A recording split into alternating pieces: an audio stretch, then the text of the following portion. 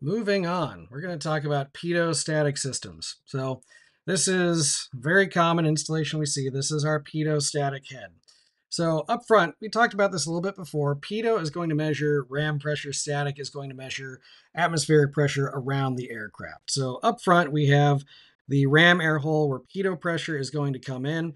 You'll notice we have two distinct passages here. We have a pitot tube riser right here, which allows ram air to come in through this main port, through the pitot tube, and into the pitot tube riser.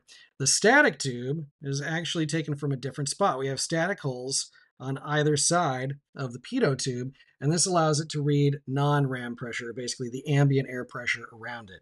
Now what you do see additionally here, we have a drain hole so that if any moisture collects, it can drain back out. One issue we have is that if moisture collects and it's very cold, then our ram air port here could freeze over or our static hole could freeze over and we'd lose our indication. So our pitot heater is going to be installed. We basically have a heating coil on either side that's electrically powered, and we can heat up the pitot tube to be able to melt any ice on it. Additionally, if we did run into an issue with, say, a static system that was clogged, maybe a static port that's on the side of the fuselage, uh, we have what they call an alternate air source. So there typically be a handle inside the cockpit. We'll say something to the effect of pull to select alternate air, and it will give us a alternate static pressure source to be able to read those. It's fairly important. Uh, one of the tests we conduct on the ground during like an annual, for instance, is to uh, not only ensure that we have a functional pitot-static system. There's a few tests that go through that we'll talk about in lab, but uh, that are required by the federal law. But also, we will check that the pitot heater is indeed working as well. So the way that this looks on a system, we have our pitot head over here, which is powering our airspeed indicator. Remember that's measuring differential pressure between our static pressure and our pitot pressure. And then our pitot, or our static system rather, is going to be connected to our altimeter, vertical speed indicator, and airspeed indicator. The altimeter, remember, is going to be an absolute pressure gauge, so static pressure is measured against that vacuum. Our vertical speed indicator is interesting because this is actually a rate of change instrument, so it tells us how quickly we're descending or climbing. Uh, additionally, you see down here that alternate static source valve right here. So if we have our ports on either side of the aircraft. If those become blocked, we can open up our alternate static source. Uh, a lot of times it'll be just located behind the panel of the aircraft as an alternate source. As we get more complex, we have more systems that are hooked up. So this is going to be more common to what we would see with a large commercial aircraft or a jet transport aircraft. And basically, the only thing that really changes is we have duplicity of duplicity. Is that the right word for this? We have a second set of instruments for the captain and the first officer. Uh, and we also have more instruments that are hooked up. So beyond just a airspeed indicator, as the aircraft gets faster and faster, we start using a Mach meter, which is going to show the speed of the aircraft in a percentage of Mach. So Mach being a value of 1. If we were saying we're traveling at 0.75 Mach, that'd be 75% of the speed of sound at that altitude. It's going to be adjusted for density, altitude, and all that fun stuff, which is why it's hooked up to the static system. Additionally, when we look at a jet transport aircraft like this, you're going to have a separate source of static for the captain and the first officer, as well as an alternate static source. Basically, this allows both instruments to, both sets of instruments rather, to see if we have an agree or a disagree between either side. That redundancy is good to make sure that we can ensure the aircraft is operating properly within the constraints that it should. Taking a look at a couple different devices here, we've already looked at our airspeed indicator fundamentally. What you'll see here is a very basic uh, version of it where we have our static port connection, which again is just going to flood this entire chamber. And we have our pitot connection, which goes directly into the bellows and is going to cause it to expand and contract with reference to the amount of pressure we have from the static system that's filling the case of the instrument. That in turn is going to drive our sector and pinion and it'll give us our indication on the front of the instrument. Another thing we have is a true speed indicator. So this is eh, kind of a little bit of a, a, physics play here, right? As we change altitude, our density is going to change, which is going to change the reading that we would have potentially for airspeed. We also have temperature changes. If we are operating in a very hot or very cold environment, it can change the air density enough to throw off what our actual indicated airspeed is. So we have a window right here that allows us to change the uh, temperature that we're operating within, and we can use that as a calibration source to be able to read our actual true airspeed as opposed to what our standard airspeed would be under normal conditions. Additionally, we have a maximum allowable airspeed indicator. You aren't going to see this on small airplanes very much, but much more commonly on large aircraft. And basically, that maximum speed is this red and white needle right here. That is the do not exceed speed or VNE. That is as fast as the airframe can go, no faster, otherwise, it's in danger of coming apart. So we can see that as a separate uh, component in some cases, depends on the installation and, and what it's being put in for. Here's an example of a Mach meter. So like mentioned before, we have 1.0 is going to be the speed of sound. Right here, we are indicating Mach 0.83, which is going to be 83% the speed of sound. Again, this is when we're operating at higher altitudes, it's being uh, accounted for density, altitude, and everything, but uh, or pressure, altitude, and this is how we generally set speeds for large jet transport aircraft on the long haul. Rather than reading in however many hundred knots, we go at a percentage of Mach. All right, as we pointed out before, this is just a rehash of the three-pointer altimeter we saw before. A couple things with altimeters. So we have just a regular dumb altimeter that reports directly to the pilot. We also have what they call an encoding uh, altimeter. And what that does is it reports to the transponder of the aircraft. That's a piece of equipment that communicates with the radar at whatever tower we happen to be in the vicinity of. And so with an encoding altimeter, it can actually give reported altitude information to the either tower controller or to the air traffic controller that's at a, a nearby station. Uh, it's more accurate. Uh, we can get a radar blip, but we may not be real accurate for the altitude of the aircraft specifically, especially for sequencing other aircraft around. need to be very careful not to have them run into each other. And so knowing what level they're flying at is very important. So uh, in some airspaces, uh, especially in this area, as you know, we continue commercial service with Paine Field, more and more airspaces are requiring uh, mode C transponders and encoding altimeters to be able to help control traffic. But the parts we see on this one are pretty familiar. We have our indicator for 10 uh, tens of thousands of feet.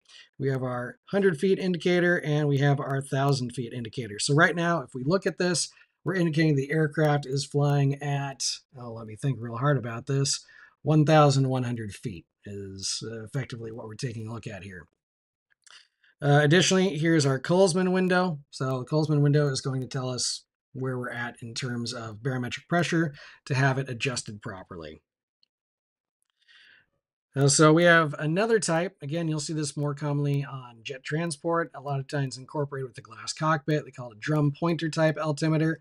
So instead of what we see in our normal instance where the Kollsman window is over here, we have hundreds and thousands of feet, and then we have uh, our thousand feet indication is being done on that window right there with the drum and pointer, hundreds of feet being indicated on the outside track.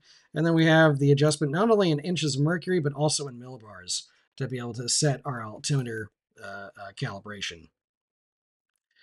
Vertical speed indicator. So looking from the front, this just tells us rate of climb or rate of descent. So what this does is it measures change in pressure, not necessarily just pressure overall. As we take a look at uh, the inside section we have over here, uh, that's not the slide I was expecting. That's all right. We'll come back to that in a minute. My apologies. We'll come back to the uh, internals of this, but basically keep in mind that we're looking at rate of change. So it's not necessarily storing absolute pressure. It's not storing gauge pressure per se. We're looking at differential pressure and the rate that it's changing to get our indication on the vertical speed indicator.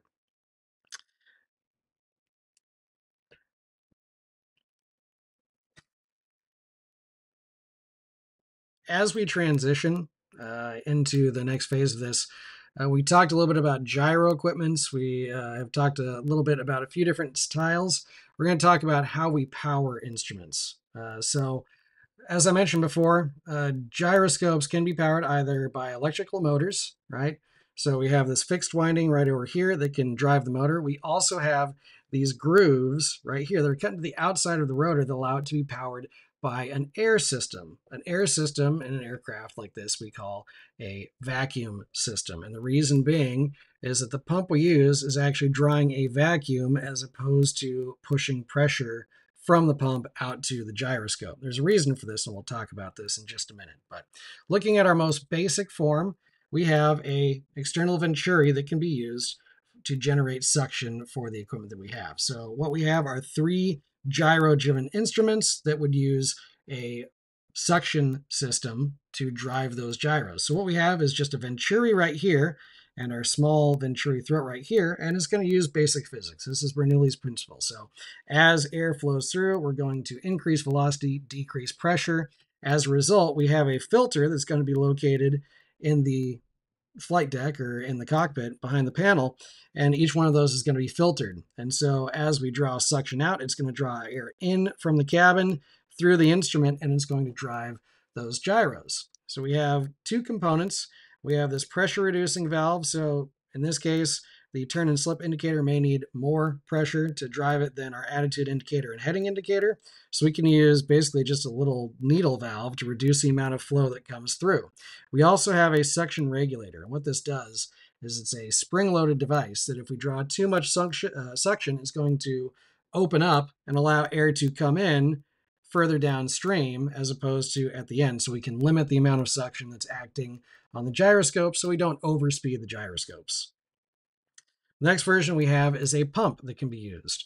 Now we have two styles of vacuum pump historically that have been used. We have wet pumps that are lubricated by engine oil. Typically, you're going to need something like an air oil separator to keep it from just spewing oil uh, overboard uh, because it's supposed to be a dry chamber up in this pump, but it isn't really. It still spews some water out. And that's part of the reason why we use vacuum instead of pressure. When we do a vacuum system like this, anything that comes in, right, this inlet side is actually where the instruments are. So we're drawing vacuum. We're still just moving air. This is just an air pump. And then any oil, anything like that can go out through the outlet and it gets combined, uh, or I should say it gets separated out in the air oil separator and we only vent air overboard. But again, it makes more sense to draw air through that way as opposed to pushing it out to the instruments where it could potentially push harmful things down the road and cause damage to those instruments. The newer version we have is where the shaft and vane is all made out of carbon and is referred to as a dry vacuum pump. It's still going to produce vacuum. We aren't going to pressurize the instruments, but that dry vacuum pump is going to not need an air oil separator. The other thing that's kind of nice is with a dry pump like that, we can actually use the exhaust or the pressure coming out the outlet of that pump to drive things like pneumatic de-icing boots. So we can use it for a number of things.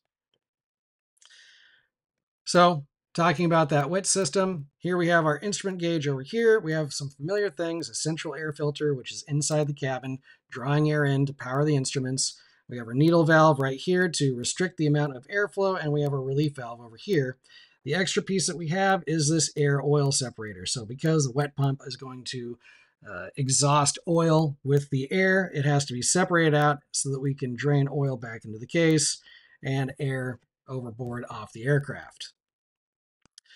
This is a different version we're using a dry pump. So in this case, we have two pumps on a twin engine aircraft. Over here, we have our filter inside the cabin, just like we're used to. We have our heading indicator and attitude indicator, so our gyro instruments. And in this case, we actually have a suction gauge, which is showing us how much vacuum is being produced in the system. We have this manifold check valve. Basically, it's going to shuttle one way or the other in the event of a failure. So if one pump fails, rather than be in a situation where we're dumping all of our vacuum out through the dead side of the pump, it's going to shift over that check valve and make sure that we don't backflow. That way we can continue operating normally. And our vacuum regulator is going to be close to the pump so that we can change the amount. Whatever it is, it has to be downstream of the instruments for the vacuum regulator to actually work. All right, in this case, we are looking at a pressure system. So this is much less commonly used. It is used once in a while, but we have a air pump. So we have our inlet filter that's actually on the pump itself. So in this case, it's not a vacuum pump, it's actually an air pump because we're pushing air to the instruments. Same thing's going to happen. We have a pressure regulator to make sure that it doesn't overpressure. And then we have this additional filter that's installed to keep anything nasty from getting downstream to get into the gyros and potentially damage an instrument. But the concept is still the same. Again, you'll see a pressure gauge as opposed to a suction gauge. All right, let's talk about autopilot a little bit. So Automatic pilot, we're going to have a few different systems that function on it, but ultimately it is used as a way to assist the pilot in active flight. It's designed to help take some of the load off of the pilot so that we don't end up in situations where they're overstressed, overcomplicated, over distracted, and they start missing things. It's not really designed to be a replacement for a pilot per se, it's just an assistment, uh, assisting system. So when we look at autopilot systems, we have a few different components that are going to be in action. We have the servos that are going to actually output anything to the controls to change the position of flight controls. We have the sensing elements that are going to determine what the aircraft is doing. We have the error checking components that are going to uh, check for any disagreements or anything like that. Those are kind of the primary points. There's a few more, but you can have a chance to take a look at that. We really aren't going to get too deep into this right now. Uh, what you're looking at is just a typical flight control system. We have a few different things. We have a heading holder over here. We have a nav holder, which is going to hold a specific heading or course. We have the approach, which is going to control different aspects of the aircraft on its way to approach. We have the reverse course, so we can input reverse and uh, take the reverse heading of what we have uh, laid in. We also have our glide slope and altitude hold over here. So again, we have a series of controls and different systems that can be enacted to do different jobs. In this case, we also have manual overrides. So we have our up and down pitch. So if we're changing, we, we can change our altitude hold, whatever it is, but this will allow us to change the pitch of the aircraft without using the controls, but by using the automatic flight system. We also have a left turn and right turn knob that allows us to do that. This is kind of a generic one. Uh, they get a lot more complex than this. But the idea is uh, a lot of larger aircraft systems use an automatic pilot, if it senses a input on the flight controls, for instance, that'll automatically kick off the autopilot because it assumes that you're trying to override what the autopilot is doing. In order to not have that happen, if small adjustments need to be made, then the pilot has available to either use dials to change the altitude, to change the vertical speed hold, or just to straight up control the pitch or the turn uh, the bank angle of the aircraft through the automatic pilot so that it doesn't disconnect. Uh, as far as servos go, we have a couple different versions. Again, we aren't going to get too deep in these because we aren't really going to pull them apart much. It's more testing and making sure they function. So we have obvious methods. We have hydraulic functions that are using a balanced actuator, meaning it can go in both directions. So it's just going to act as a servo to move a control.